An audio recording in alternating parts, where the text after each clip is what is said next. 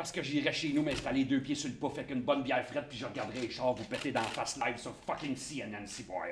Non mais Martin, je te le dis, je suis plus capable de leur attitude de King of the World comme si Adam et étaient nés en Californie, sacrement. FBI! Everybody put your guns down!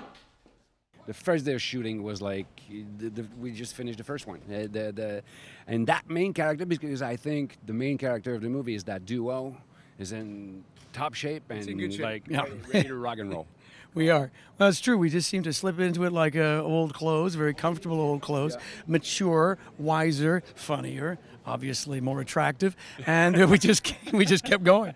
Is is the English French thing still central? Yeah, it is in the sense that it kind of, I have to say, in a much more offhand way, because what we've done and the way Patrick's written it, he's just, it just takes it for granted. Yeah. Y'all know bon cop, bad cop, huh?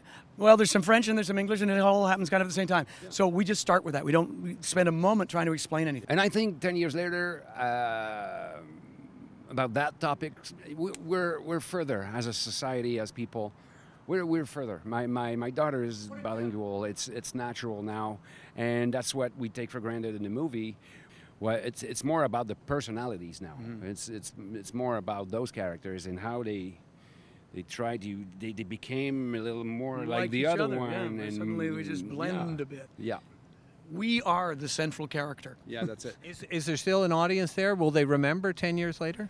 I certainly hope so Uh, it's not the same people. They're going to bring their kids. Um, and besides, we don't have any control over what happens once you've made what you hope is a really good film. Our, our joy and delight on the set every day is we know we're having fun, we've got a great plan, and we're executing it. And we, we know when we see, because we can now see with the film digital stuff, we know instantly that we've got what we were after. So there's a lot of great minds working on this. We're hoping a lot of great minds can't be wrong.